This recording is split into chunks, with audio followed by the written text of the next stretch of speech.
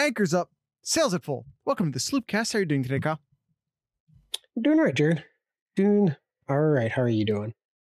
I am not going to complain. Uh, we are in mid-season form now, Kyle. Maybe Ohio State's offensive line is not in mid-season form, but we are. So let's not screw around. Let's get right into this. Um, do you want to start?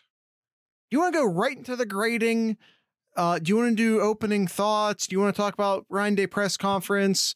Um, how do you want to how do you want to handle? Uh, honestly, honestly, Jared, let's let's do first impressions here. I'd, I'd rather just let's start with our first thoughts here, what we thought of the game, some takeaways, the goods, the bads. Hear from what Ryan Day has to say, and we will we'll end it like we typically do with our greetings and answer some questions. So let's let's jump right into it. 23 to 3, Jared. Uh the good. Hey, you you you only let up 3 points. You only let up 3 points. You let only let up 153 yards. I know I know a lot of people are going to look but Kyle, Kyle and Jared, it's it's it's Indiana. Yeah. You, you know, If- you know, there's previous on, there, there's previous on. years If your, where, ti- where if your response to this is it was only Indiana, where have you been the past three years? Mhm. Yeah, exactly. Yeah, it's these these type of games in previous years. Ohio State led up 300 plus yardage on on defense here, 153 yards, and really Indiana had like one good drive, and that was a 40 45 yard drive where they got the three points. I was very very pleased with the defense here. That's the good. The bad, Eh, okay, yeah. They only put up 23 points. Used Ohio State putting up 30s, 40s, 50s against Indiana here. So, yeah, it's a lot of, and that's been the main focus these past few days here is is Ohio State's offense. Oh, what what's going on here? They only they only put up 380 yards on offense here. Uh like just griping and complaining and, and to a degree yep you're you're you're right to go ahead and complain about how the offense looked and a lot of times they just looked all out of plays offensive line looked crap at, especially in the beginning of the game here. Um, kyle mccord looked uh, like a young quarterback like his first game here I'll, I'll say which, this: which which which were, which On were Kyle not typical which we're not typical of seeing though because we're, we're typical of it in a seeing. Yeah, we haven't seen it in yeah with C.J. Stroud and Fields. Heck, even Haskins. Their Right. first games have been really good. Eh. Uh, Stroud. If you just look at the statistics, it looks like Stroud had a really good first game at Ohio State. He had four touchdowns and a bunch of yards, but his completion percentage sucked. Um, okay, really, I'm going to ask Ohio State fans to take a good, honest look inside their memories. A large contingency of Ohio State fans wanted CJ Stroud benched after his first four or five games at Ohio State. A very large contingency of Ohio State fans wanted nothing to do with CJ Stroud after his first month of Ohio State quarterbacking. Mm-hmm. Yeah. Which is See- which is yeah After one start, and I'm not counting Akron as backup duty, sharing starts with Jack Miller two years ago. So, yes, I will be calling this Kyle McCord's first start. Yes, I know that's technically not correct. Shut up. I, I don't care. This was this was Kyle McCord's first real start. Um, I will and I will be referring to it as such from here on out. In his first real start, he looked better. I don't care what the statistics say. He looked better than CJ Stroud did in CJ Stroud's first start. Now, he should. CJ Stroud was in his second year in the program. This is Kyle McCord's third year in the program. We should we should see a little bit better. It should be a little bit better. So just we should see a more polished quarterback, which I think we saw. I think um, CJ Stroud. If God, I'm really asking you guys. To, Remember, uh, it's it, like his entire first year, he'd come out into the start of games and start sailing balls over people's heads out of nerves. Who remembers that? He'd get nervous, he'd sail the ball straight over people's heads. Uh, true. Stroud was uh, off in his first three games. Of course, his shoulder was an issue. Woody, super valid point. Uh, his his shoulder was an issue. Um, but I also think, and I, and I think I've seen this like through the preseason with CJ Stroud at Houston so far too. I think he's a guy who needs confidence. I think CJ Stroud, um, again in his first year, his second year at Ohio State, he was fine. First year at Ohio State, again, the first drive or so, if he didn't hit his passes right away, he'd get nervous and start sailing the ball. That's what young quarterbacks do. That's what inexperienced quarterbacks do. And I hmm. think Kyle McCord, we saw some young, inexperienced quarterback things to do. We saw him locking into his targets, deciding before the snap who he was going to throw the ball to and throwing it there. That's what young quarterbacks do. We saw him straight up. He, he had he had a running touchdown in the bag, and he decided to juke and not follow his blocker instead of simply following his blocker. And he, and that's in one of the cases, Ohio State loses a touchdown and gets a field goal instead. And by the way, in his defense, he should have a touchdown on this board that he doesn't have. Yeah. Marvin Harrison Jr., who is now a veteran on this team, who is now a leader on this team, doesn't fight enough, takes three steps out of bounds, and then catches a perfectly delivered ball for a touchdown. Not that's not Kyle McCord's fault. It's just Marvin Harrison needs to be better there. Marvin Harrison is better. Uh, he, uh, you know, it's his first game back too. You know, it's everyone's just, first game it's back. A, it's, it's some first game jitters. It's a brain fart. It's a brain, a brain, fart. A brain fart. He's still a young kid. Like we, you know, we call him established veteran, but you know, he's still third year out of high school. He has to be better. He has to do better for his teammate. That was a perfectly delivered uh, touchdown pass from McCord to Harrison, and Harrison stepped out of bounds. It happens. Yeah. It doesn't change the fact that the pass was perfect. Yeah, and honestly, who who needs to be better was the offensive line. Offensive line, especially yeah. early on, was just crap. I'll just, Kyle, I'll just. Should we get into the grading? I think I feel like we've started getting into the grading. Should we just do the grades? well, we're, we're just giving our initial thoughts okay, of okay, the okay, of the team here, and then we'll, we'll get into that. But I mean, you weren't doing any, your your new quarterback any favor of no. having to get rid of the ball sooner than you would like to. Had to do a lot of checkdowns, like a lot of checkdowns, and we'll get at, there, at there, definitely there's definitely there's definitely some plays, and I know you're you've probably already seen it already. A lot of people pointing out of of that McCord should have just let it rip because they had you had um, Marvin Harrison Jr. streaking down, and you throw it there, and maybe he might be able to make a, a great play there. Mm, yeah, that, that'll, that'll come with time, but when you when he was so used to having to get rid of the ball so yeah. so much quicker than he used to, especially early on. Yeah. It's hard to keep, it's hard to, to think that way because you're so used to getting rid of the ball a lot quicker too. So the offensive line didn't do him any justice, uh, especially early, no. on, early on to build that confidence.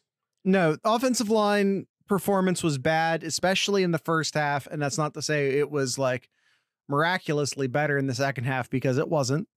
Um, if anything, you know, Indiana probably just got a little more tired in the second half. Um, yeah. It's not so far.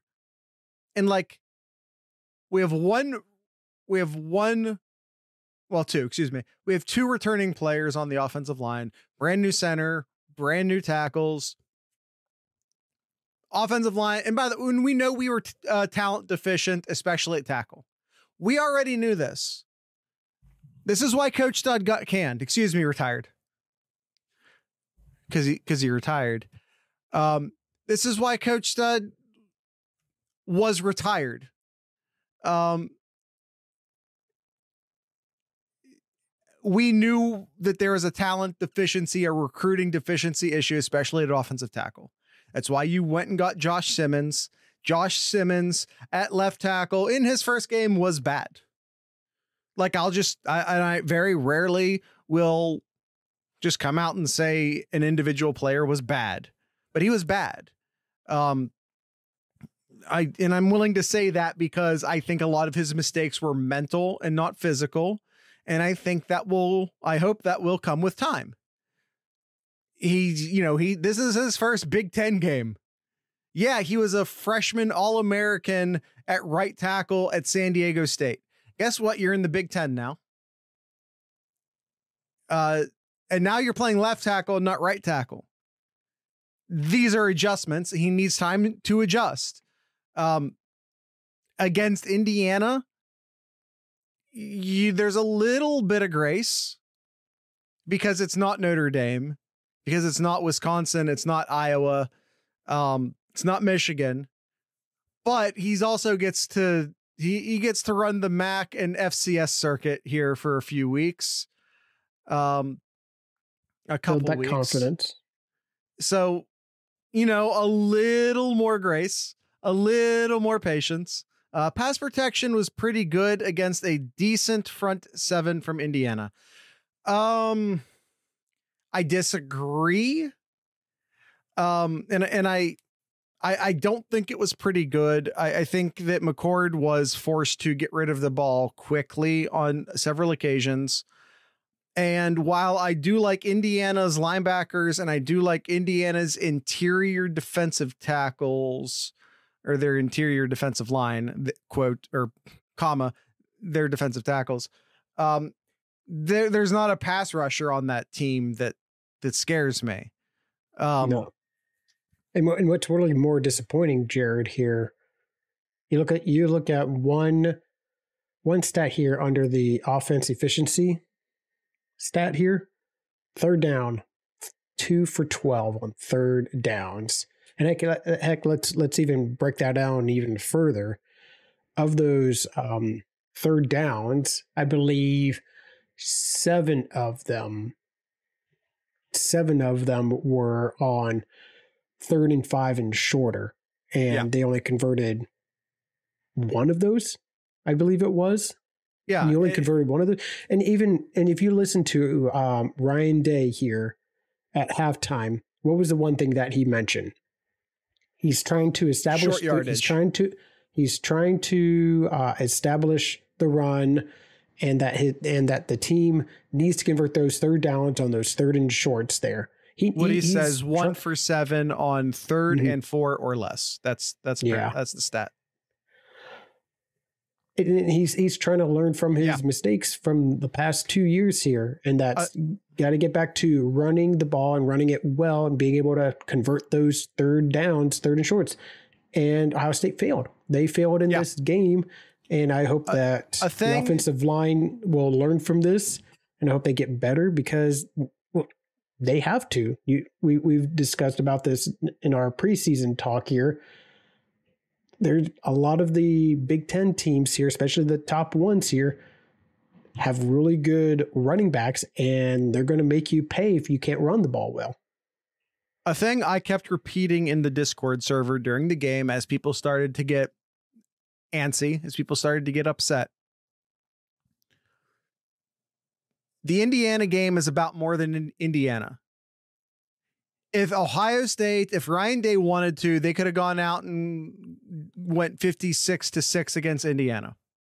I believe that. I believe that had the defense not played this well and Indiana had gotten a few touchdowns, Ohio State would have scored more points in return.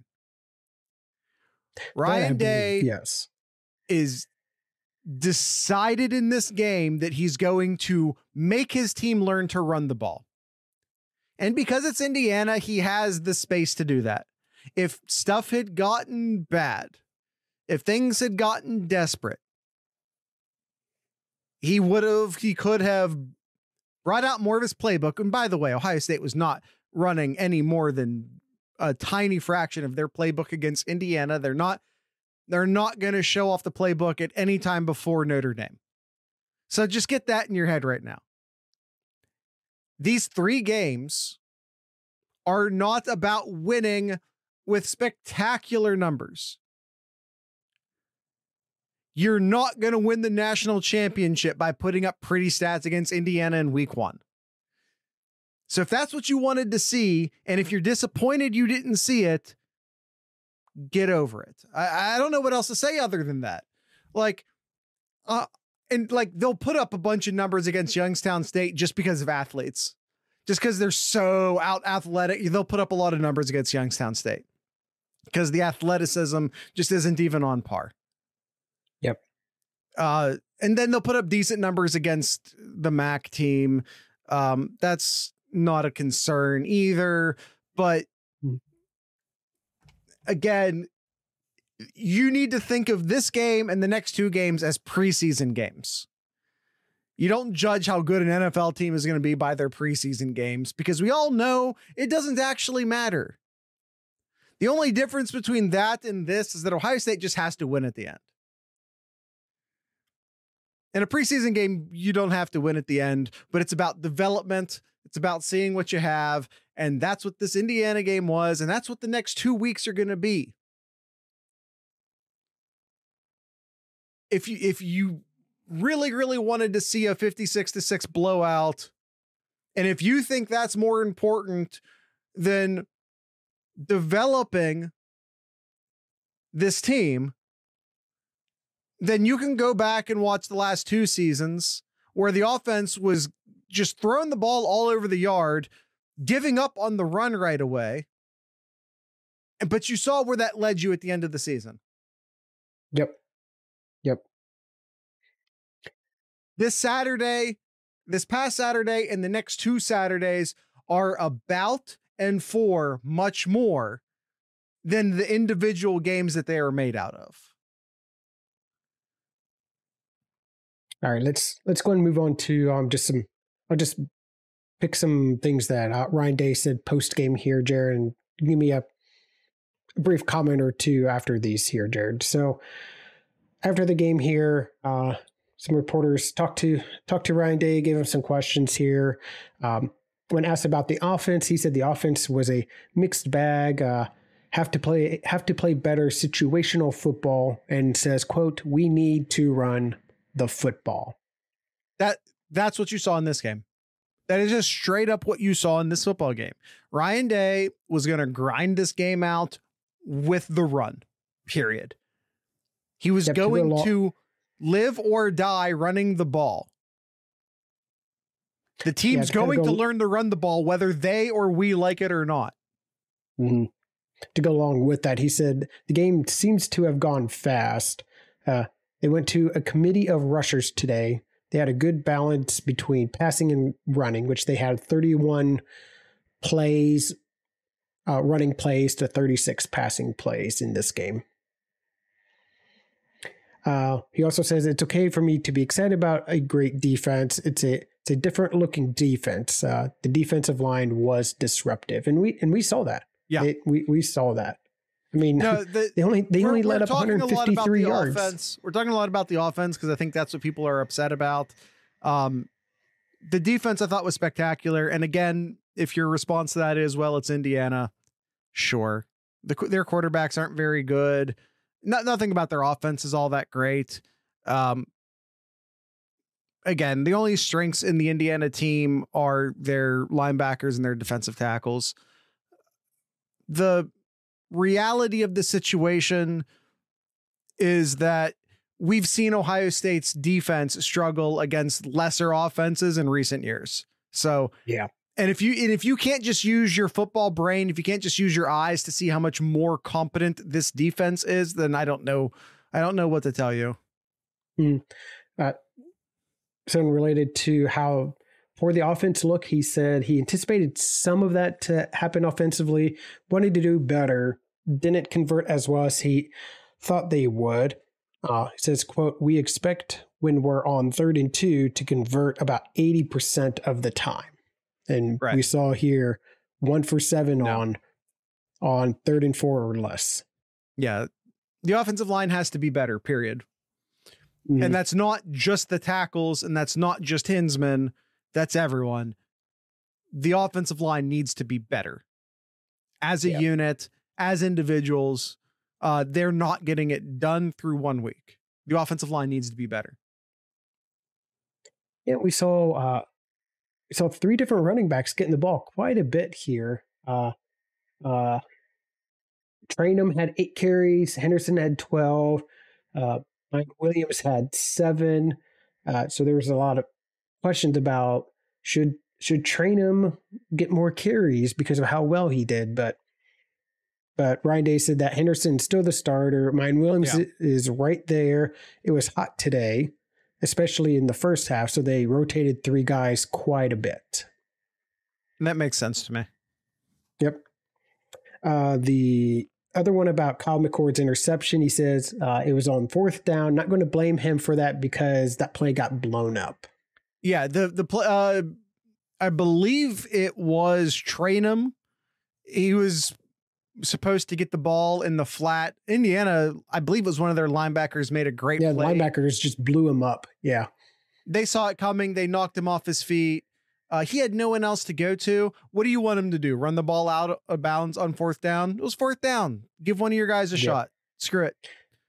Uh, Hey, if So you're gonna regarding- if you're gonna throw your first interception as a college football quarterback, throw it on fourth down. That's it's a really good time to throw your first interception. uh, regarding to Devin not playing Devin Brown as much, he says that was my gut and I went with it. Uh, right. he, he also he also said that um um yeah he just he felt like that um they need he needed to get the offense into a rhythm here.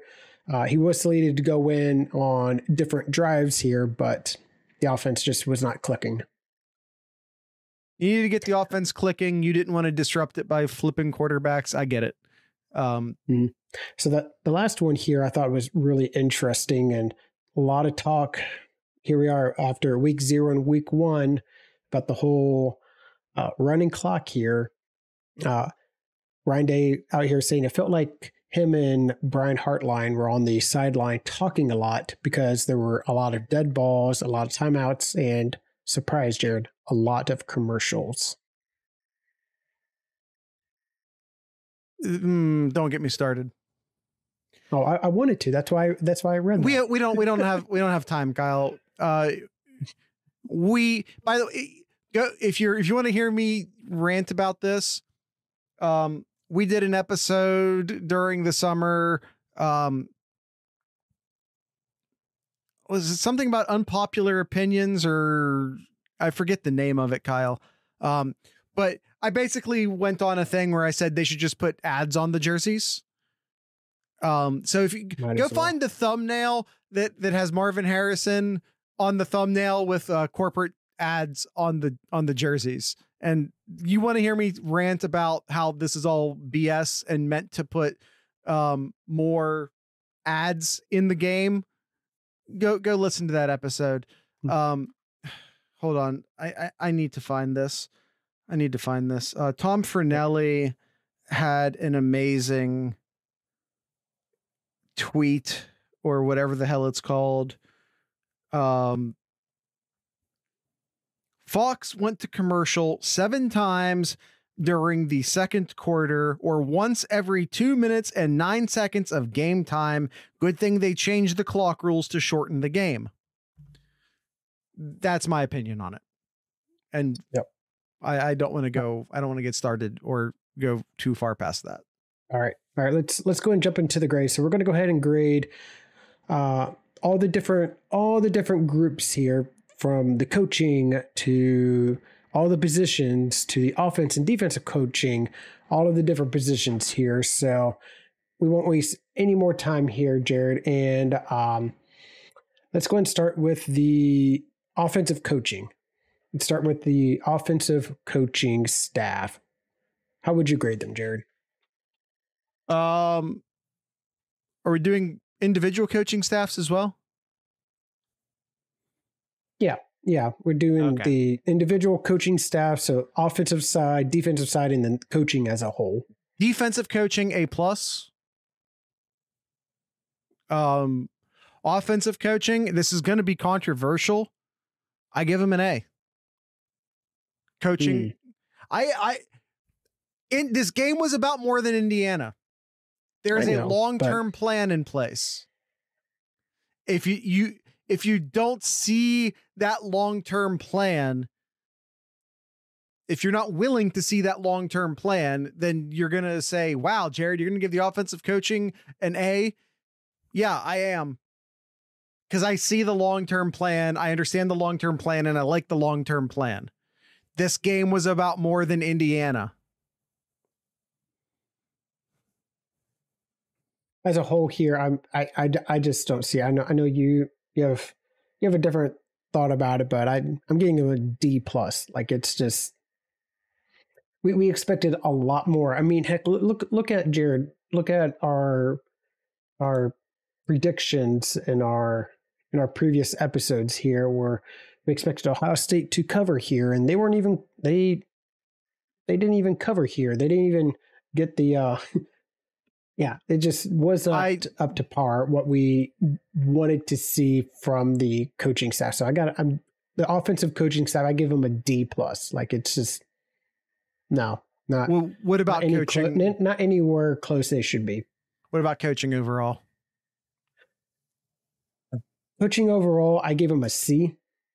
I gave it a C overall. All right. Uh Kyle McCord, or I guess the quarterbacks in general. I, I, I think he was average. I average. So that that to me that's a C. That's a C for me for average. Uh, uh, here, here's the thing I want to remind you, Kyle. Remember, we we grade these based off of expectations. Mm-hmm. Yep. Yep. If And CJ Stroud had, if CJ Stroud had had the game that Kyle McCord had, we'd give him a D, and it would be justified. Kyle McCord in his first start as an Ohio State Buckeye, I thought looked very competent. Did he blow me away? No. Did he do as well as I kind of expected him to do based on the fact that it was his first start as an Ohio State quarterback? Yes. I think he gets a B in my book. Hmm. Well, we'll, we'll disagree. We'll disagree there, Jared. But I, I give him a C, just average. Now I, I the run, I the mean, running, you, the running. you got a grade based off of I, I, I'm grading the expectations, and I had higher expectations. So simple as that. All right, running backs, Jared.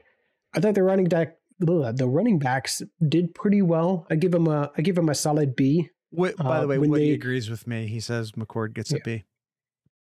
Uh, I thought when the running backs had their opportunity, they they made some uh, great movements. Um, they made some great plays when they weren't getting hit in the backfield. So I think overall the running backs did did really well, a solid B. And Trayanum definitely caught a lot of eyes here. So um, it's no longer a two two um, headed monster here. We got we got a we got a three headed monster in um in our running back corps here.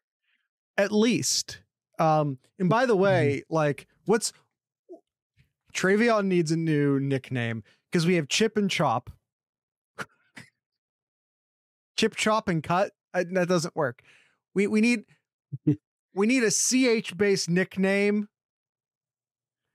for for uh Henderson.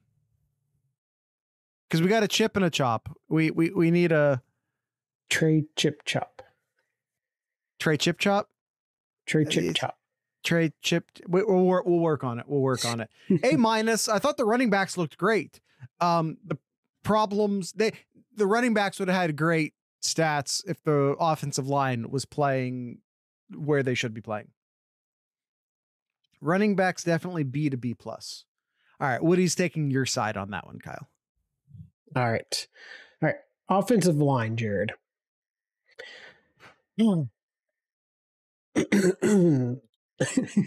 right. Um, I know we're supposed to be. I I am seriously fighting giving them an F. Um, but we we need to be grading them based off of expectation. Three new starters. Uh, we we knew there was a talent issue at the tackle position. We there needs to be a we need to be giving them a little bit of time and a little bit of grace. Um, that being said, they were like the worst unit on the field for Ohio State, period.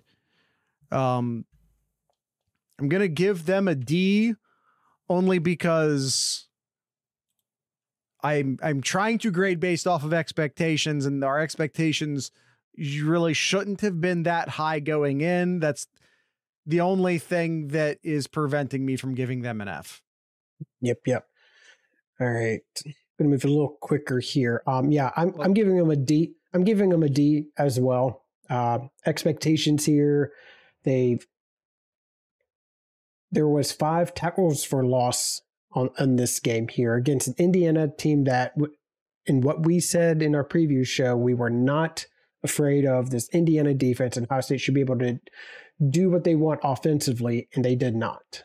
To to be fair, I did say that Indiana had good defensive tackles, and I particularly pointed out uh, as their player to watch was their linebacker that was responsible for many of those TFLs. Yeah, yeah. I mean, yes, Aaron Casey, which I mentioned in last year, was my player to watch. But uh, but yeah. yes, I mean, Aaron Casey had himself a, another great game too. Yeah, that's that's fair. But this offensive line should have been able to do a lot more than yeah. what we. No, no, no. I agree. I'm just. I'm defend. I'm defending us in that, Kyle. like I feel like okay. we we told people that the defensive tackles and the linebackers for Indiana were pretty good. Mm-hmm. Tight ends here. I thought I'm giving Stover. Him a, oh, sorry, you had. I'm giving him an A. Stover had himself a career game, led the team in receiving yards with 98 yards, five catches. All he was missing is that is that touchdown to get that A plus for his uh for his crew here. So I'm giving him a solid A here. Tight ends played very well. Uh, there's been a couple plays where the might have been Stover uh, in run block is, did really well here. So I was very, very pleased what I saw from the tight ends. I'm to go one step further. I'm to give him an A plus um, because not only did suddenly realizing that this font doesn't have an appropriate plus sign that looks terrible. I'll fix it next week. Uh, Gee Scott, by the way, also looked really good like as a blocker, he mm-hmm. caught my eye several times in run oh, blocking. Yeah. Um, couple chips on pass blocking as well. Uh, was playing fullback a couple times. Uh, I thought Gee Scott. I think the the Gee Scott Jr. transformation into tight end is complete and ready, and he looked really good. Yes. All right, the wide receivers. Hear me out. I'm giving the wide receivers a C. I'm giving them a C in this game. And a lot of it because when Kyle McCord had time, especially later in the game in the second half, he still had issues trying to find the wide receivers open, which kind of leads me to look at that the receivers aren't getting open enough for Kyle McCord to make those passes. Now, uh, Julian Fleming had himself a great game. He had six receptions in this game. Emeka had three. Harrison had two, but if, if you watch that game, they they were really keeping an eye on um, Marvin Harrison Jr. and really preventing him from having a uh, having a career game against Indiana. So I I give wide, the wide receivers a C though this game. I like them to get open a little bit more to get to to help Kyle McCord out a little bit better. Yeah, they're supposed to be the best unit maybe in all of college football. Um, and even though I don't blame them for a lot of what went wrong in this game, um, I, I think a lot of the blame lays on the offensive line not giving Kyle McCord time, Kyle McCord being a first game quarterback, um, the fact of the matter is is that Emeka wasn't around. Um, Fleming had a good game. I'm gonna give him. I'm gonna, I'm gonna throw a plus on there. I'm gonna throw a okay. plus on there, but the plus I want everyone to know that the plus is just for Julian Fleming. No one else gets it. That's that is Julian Fleming's plus. Uh, uh, we'll just leave this and we'll move on to the defensive here. your your your trio starting receivers only had 11 catches. All right, uh, defensive line here. All right, I guess we're going to combine defensive lines. So I had defensive ends an A minus and the defensive tackles an A plus. So I will give the defensive line an A. I agree with literally everything you said. So if you want to move quickly, I think we'll just leave it at that. I, I think your I think your summation was pretty perfect. They were disruptive. Um, they got pass rushes most of the time. I didn't see a ton of Dude. linebacker blitzing for pass Yeah. rush purposes. Uh, I, I know it did happen, but you didn't see a ton of it. Uh, they were getting, they were being so- disruptive. And and by the way, Indiana brought the triple option, surprising Mhm. everyone, and the team adjusted to it fairly well. I mean, they they adjusted to it like for for not preparing for it, um, which you kind of have to prepare for. For I thought they played well. I thought they played really well. Uh, Yeah, I was Woody says really- wideouts didn't really get separation, but how much of Mhm. that was just running vanilla routes and schemes? That's of Woody. Another fantastic it's good point, point. on your Yeah. part. Good point. Eh, Ohio State was running their junior varsity playbook in this game and will be for the next two games. They're just not going to show Notre Dame anything. So going back to the defense here, man, I was so impressed watching some of these young Buckeyes really step up in their first game here. We got to see we got to see Hero Kanu um, really um, stepping up in this game. There, there was a couple plays when I was like, man, like 93 making some really big plays here, or being very disruptive right in the middle of that uh, defensive line. Ty Hamilton was uh, very disruptive as well, and my boy Tyleik Williams had himself a great game as well too. I was very very pleased with the defensive line in this game. Very pleased. They might they I might agree. not have gotten the may not have gotten the sacks that you were wanting to see here, but I'm not worried about again, stats. but again, with it being the triple option here, yeah, I was very, very pleased with the defensive line. Linebackers, I'd also give an A. Also give an A. Steele Chambers, great game. Uh, Tommy Eichenberg, great game as well. Cody Simon had himself a, a good game as well. I was very pleased again with the linebackers. They didn't. They made good open field tackles. They didn't. Yeah, they they didn't they didn't embarrass themselves. So I'll just say that they didn't they didn't put themselves in bad by the way, positions. they Not embarrassing yourself when you're unexpectedly thrown a triple option defense is saying something. And the corners, I, I give same thing. I give the corners an A here. Uh, Sonny Styles. I know we. I know a lot of people really talk We're about classifying him as a safety or a line. It's, well, he's that Eh, in betweener guy, but he's not. I don't Okay. think we can call him a corner. Um, yeah, uh, Jordan Hancock played very well as well here, and even even the transfer uh, Davison uh, Igbinosun played really well as well too. I was, yeah, I was I was very pleased with the corners. I'd give them an A as well, and and you might as well I'm add go- another A for the another Uh, A for on. the safeties as well. I'm going A plus on the corners. Um, Indiana completed two passes in the first half of the game. Two. Okay. Two passes. Um, Jordan Hancock has taken a step in this.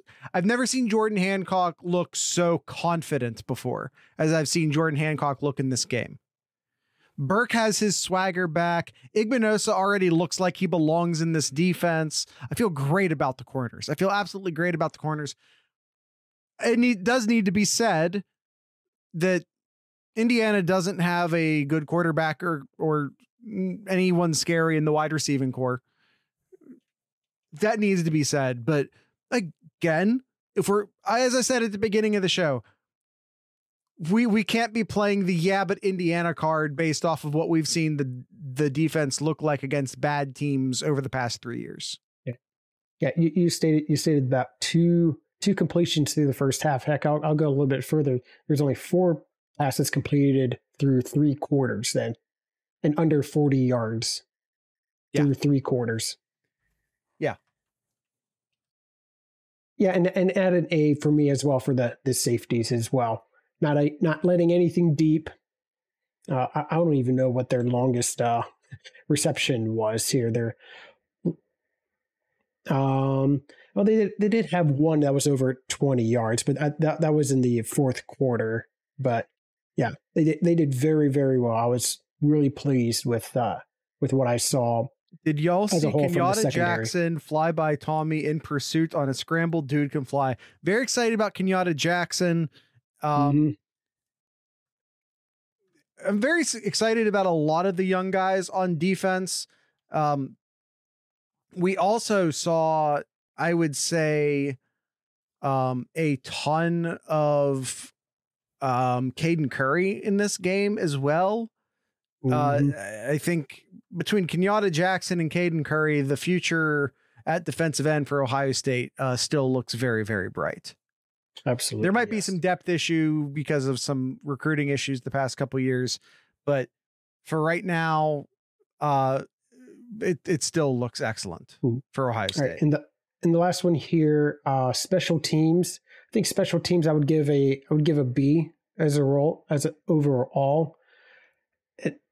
Mainly just because of the kickoff return coverage. But yes, yes, I know that Indiana has as a, a negative. You mean?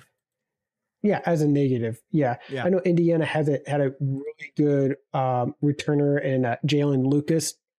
Uh, he looked he looked like he's ready to break one at at any moment here, and definitely showed some some vulnerabilities on Ohio State's uh, kick return uh, coverage there. So that's leaves me a little bit concerned. But other than that, Ohio State did, did well in special teams, so I'd say a B.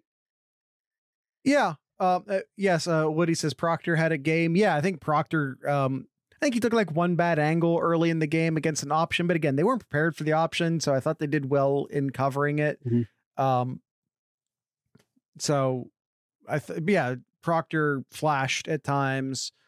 Um, I I really don't know. Kyle, say something negative about the defense. Uh, not enough uh sacks.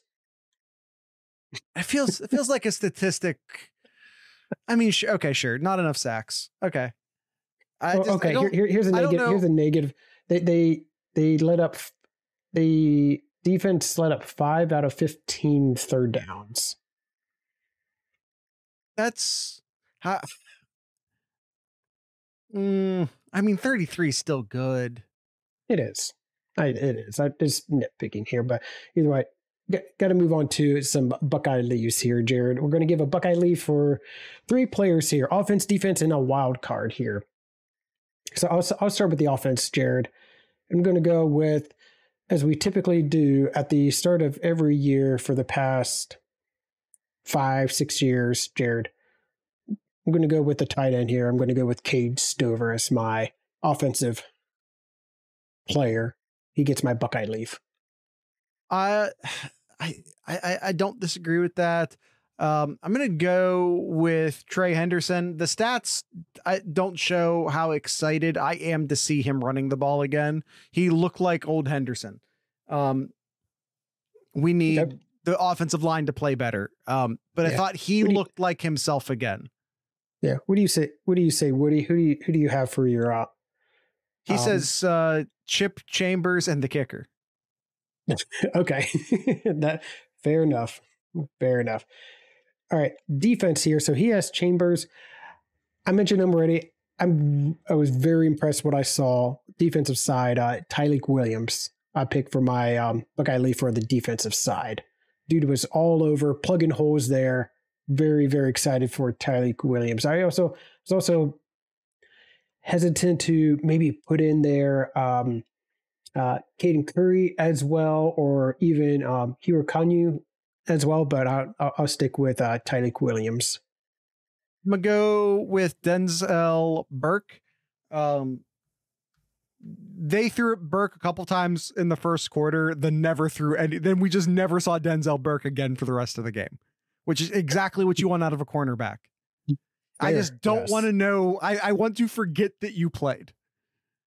Yes. Uh, and Woody picked Chambers, and Woody picked uh, uh, Jayden Fielding, the kicker for Ohio State, as his wild card. Fielding just wild... looks smooth, right? Mhm. Like I just I want to talk about Fielding for a second. Fielding just looks smooth. Like he just looks confident and smooth, and he he's just so casual about it. Like I I don't know something about. You know they always talk about quarterbacks having like a an air of of confidence or of calm, cool collection.